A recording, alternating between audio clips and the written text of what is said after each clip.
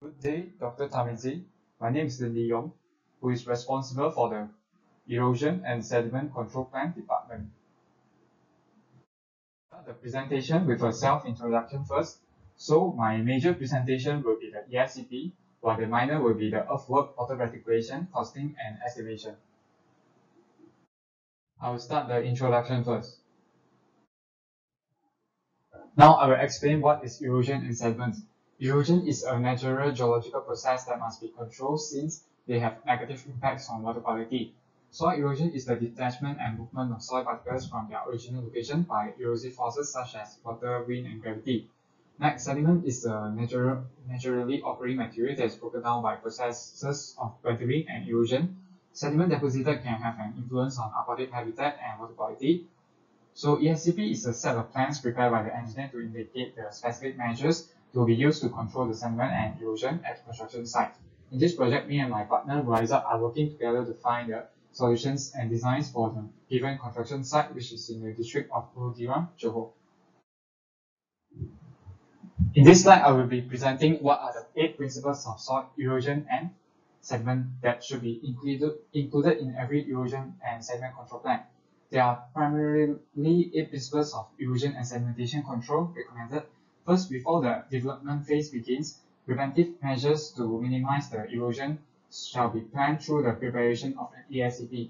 Existing vegetation shall be also maintained to the maximum extent possible to filter the runoff and provide erosion protection.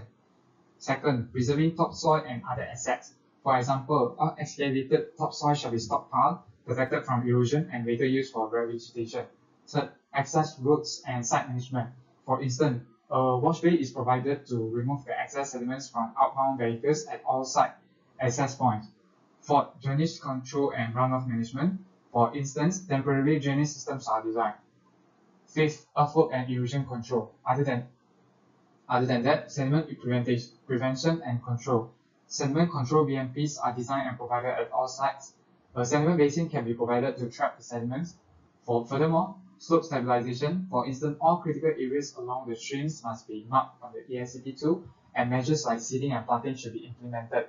Last, site maintenance. For example, all erosion and sediment control measures shall be constructed and maintained by the developer.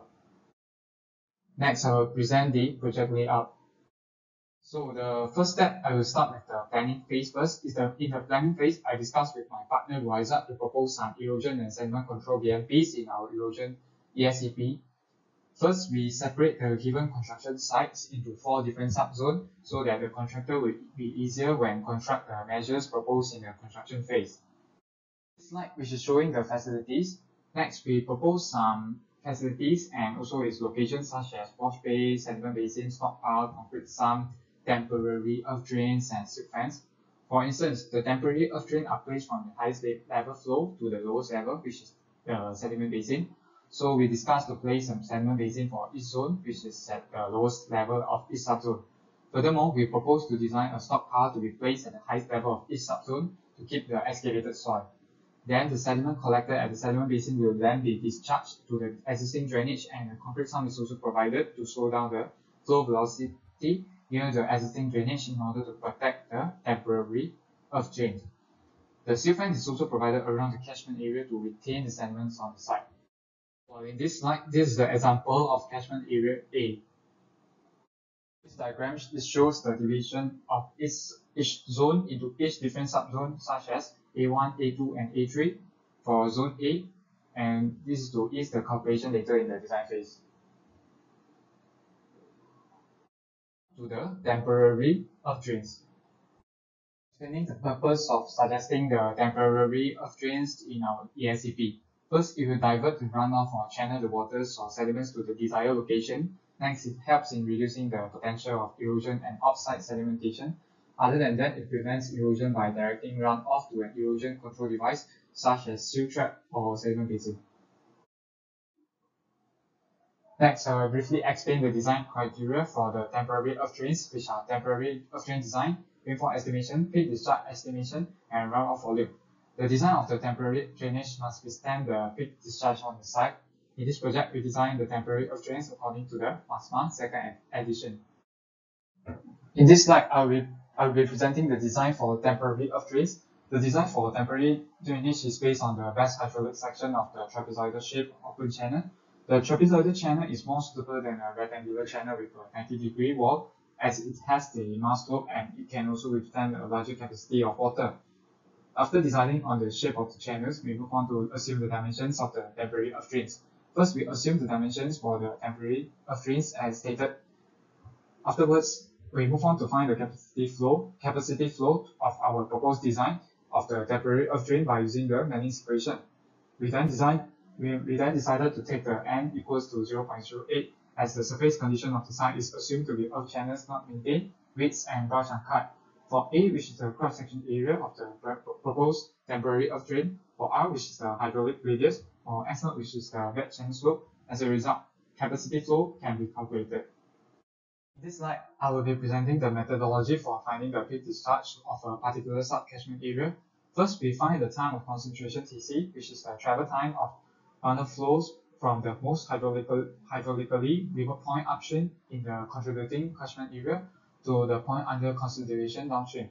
Tc is the sum of the overland flow time T0 and time of travel in drainage Td. Next, we calculate the average rainfall intensity. First, the ARI is equal to 2 years It's assumed as two years as the design is for the early construction phase only. Then we decided to use the nearest rainfall station to our site, which is Busan Camp Pekananas, as the reference. So we get this splitting constant. Then we the average rainfall intensity is calculated. Next, peak discharge can be calculated by using the rational method. It is widely used for small catchment areas. For the symbol C, which is the runoff coefficient, is equal to 0.5 as the site is all bare soil during the early phase while I is the average rainfall intensity and A is the flow area. Then the design peak flow is calculated. So all QD must be less than QC for all the drainage design. Lastly, the rainfall volume is calculated as well by using the formula shown here. It shows the detailed drawing of the temporary earth drain. There are several drainage in one catchment area. For example, there are three drainage, drainage in catchment area A. And Sediment control we calculate the soil loss estimation by using the USLE.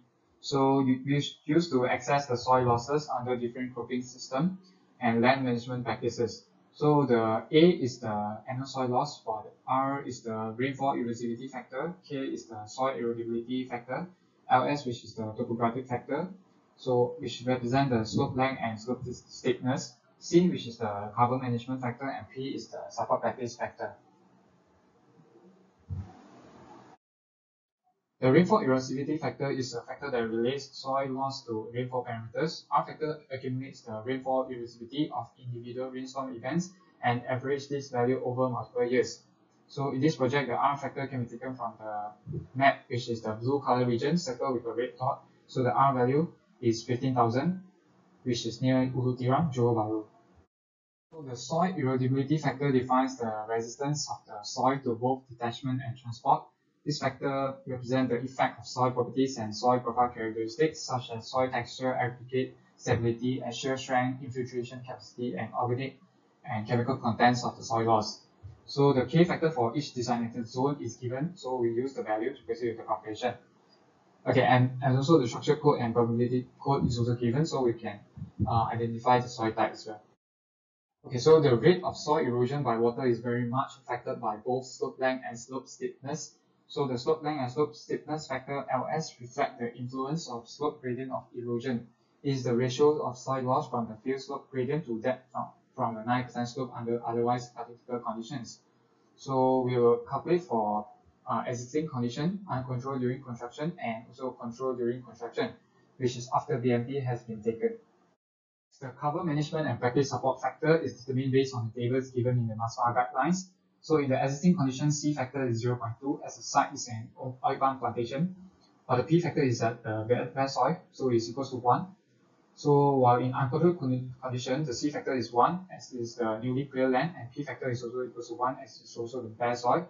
For the control condition, uh, the C factor is 0.05 and P factor is 0.5. Like this table shows the annual soil loss in plant per hectare per year for each condition of the of each zone. In the controlled condition, the annual loss is reduced for each zone after BMP has been taken. Furthermore, sediment yield is the amount of passing point of interest in a given period of time. Sediment yield is useful to predict the amount of sediment and for, for maintenance of sediment control BMPs. Then the sediment yield loss is estimated by using the MUSLE for the parameters. Y is the sediment yield per storm event, V is the runoff volume, QP is the peak discharge, while others are the USLE factors. Table shows the sediment yield loss in tons for each condition of each zone. Move on to the design of the sediment basin. So a sediment basin typically consists of an impoundment, a dam, a riser pipe outlet, and an emergency spillway. So the basin is a temporary measure during construction and is to be maintained until the site area is permanently protected against erosion or a permanent detention basin or water quality control structure is constructed. The design criteria can be categorized into three parts, which are the determination type of sediment basin, sizing of basin outlet, and trapping efficiency. The type of sediment basin can be determined based on a group of soil types. For zone A and B, the soil type is sandy loam, which is in uh, soil group A, so the dry sediment basin is, is designed. For zone C and D, the soil type is loam, which is in soil group B, so the wet sediment basin is designed. At first, the highest DC of the sub-catchment area is chosen to determine the surface area and total volume of the basin. So both the required volume, required area and volume are determined. Next, the required settling zone can be calculated by getting a V1, which is half of the total volume, and assuming the Y1 and W1. Then the average area is calculated and checked with the required area. The ratio of L1 over Y1 is calculated and it must be less than 200 while W1, L1 over W1 must be greater than 2. Next, we design the sediment storage by first identifying the required sediment storage zone, which is the V2 required, and it can be obtained by dividing the total volume V by 2. Then W2 and L2 can be also determined, while for the required depth Y2, it must be at least 0.3 meter. So we decided to assume 1 meter for the zone A, so V2 provided is also calculated. Then we calculate the overall basin dimensions of the top, base, and depth as well. For sizing of the basin outlet, the spillway for this sediment basin must be designed for 10 years ARI. The proposed spillway dimension is 1.5 meter times 0.6 meter. The silt level must be set at, at, at a minimum of 300 millimeter above the basin top water level. To simplify the calculation, the following assumptions are made, such as the assuming the riser pipe flow is orifice flow through the top of the pipe only. The riser pipe head is the height between the top of the pipe and the spillway crest level and is assumed as